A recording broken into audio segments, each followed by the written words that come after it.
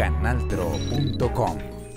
Los representantes del gobierno y del expresidente Álvaro Uribe Vélez para llegar a un acuerdo que permita reanudar los diálogos con las FARC ya están en marcha. El encuentro del expresidente y del presidente Juan Manuel Santos fue positivo según versión de analistas. Ayer mismo me reuní y escuché a los dirigentes gremiales, tanto a los que apoyaron el sí como a los que promovieron el no. Encontré en todos ellos un ánimo constructivo y una real disposición a aportar su concurso para lograr el acuerdo de paz. Todos quieren la paz. Según el gobierno, habrá algunos cambios en el acuerdo de La Habana que serán incluidos una vez la comisión de los dos líderes tenga un documento redactado.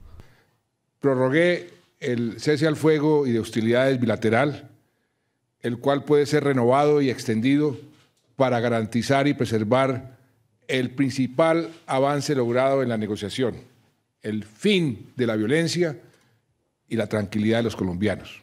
Según versión de los representantes del sí y del no, la intención es continuar con los diálogos y se espera que próximamente se vuelva a pactar un nuevo acuerdo. Por su parte, la comunidad internacional, a través de voceros, manifestó su respaldo al gobierno.